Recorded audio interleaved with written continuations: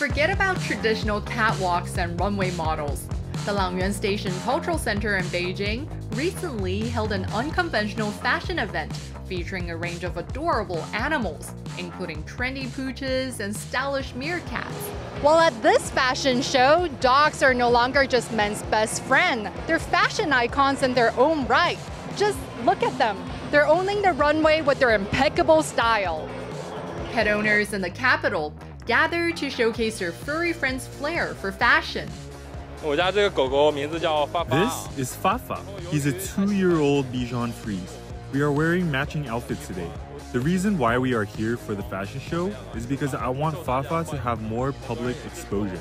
He has about a thousand followers on social media now. My puppy is a seven-month-old black and white poodle named Dui Dui. We're here for the fashion show because I want to spend more quality time with him. I also hope that participating in events like this will help him socialize better with humans. My pet is an 8-month-old meerkat. It's called Naiping. Coming to this fashion show today, I hope to let more people know about meerkats as pets. Our outfit theme for today is black, a timeless classic color.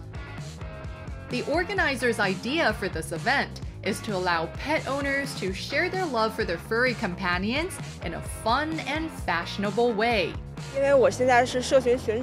I'm the leader of a small breed dog group in Beijing. Our group primarily consists of Yorkies, Maltese, and Shih Tzus. I organized this event for dog owners so we can celebrate the transition from spring to summer in style. Through every twirl on the runway and every playful paw step, each furry friend turned heads and melted hearts along the way. This pet fashion show was a true celebration of the special bond we share with our four-legged friends.